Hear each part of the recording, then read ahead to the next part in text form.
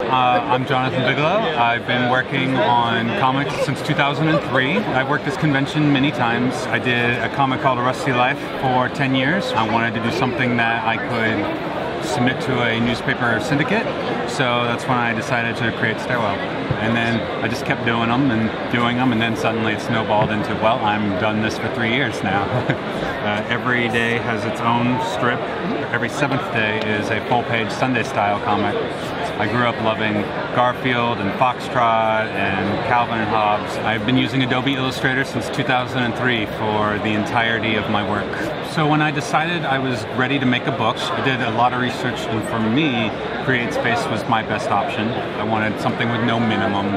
Flexibility was really key in my case. Pretty much anything I do now, I cross-post it to jonathanbigelow.com. I'm on Twitter, Instagram, Facebook, the whole the whole nine yards.